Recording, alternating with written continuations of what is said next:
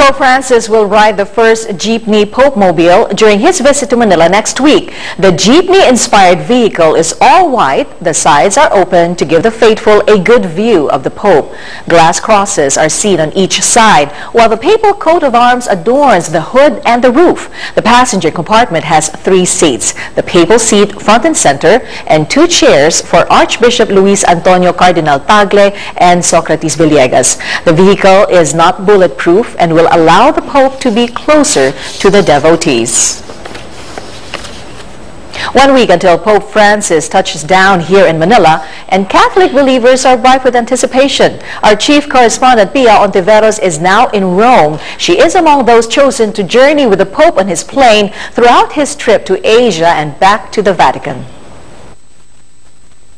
St. Peter's Square glows on this chilly January morning, but I'm sure there's nothing in the Vatican that you haven't already seen, either with your own eyes or on television or in photographs. But for this first-timer here in the Vatican and on the papal flights to accompany Pope Francis when he visits Sri Lanka and my home country, the Philippines, a wave of emotions, a sense of being a pilgrim has engulfed me.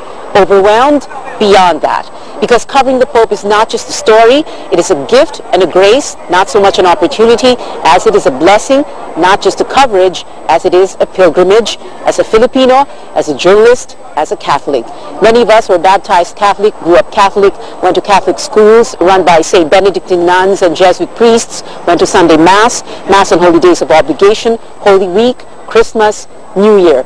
Are 13 of us Filipino journalists will be on board the papal flights. From here in Rome, we fly with the Pope to Colombo on the 12th. Sri Lanka has a small Catholic population and brewing political trouble, but the Pope is still going, last we heard, and we fly with him to Manila on the 15th. In our lifetime, we've known five popes.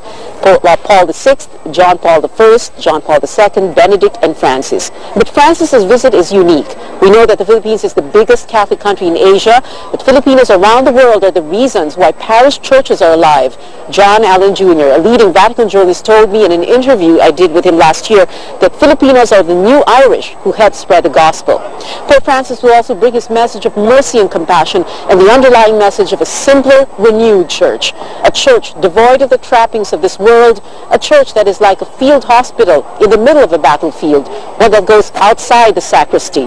A church that, like the Good Shepherd, leaves the 99 sheep to look for the one that is lost and must be carried home. Where this journey takes this pilgrim, only God really knows. A journey that is almost like a prayer sent up to the heavens, like the prayers and songs one grew up with. Pananagutan, walang sinuman ang nabubuhay para sa sarili lamang. Lord, make me an instrument of your peace, or in omnibus, amare et servire domino. In everything, love and serve the Lord. It is this message that Francis will bring with him as he journeys to the Philippines next week. He is as much a pilgrim as all of us on that flight, or all of you who wait for him,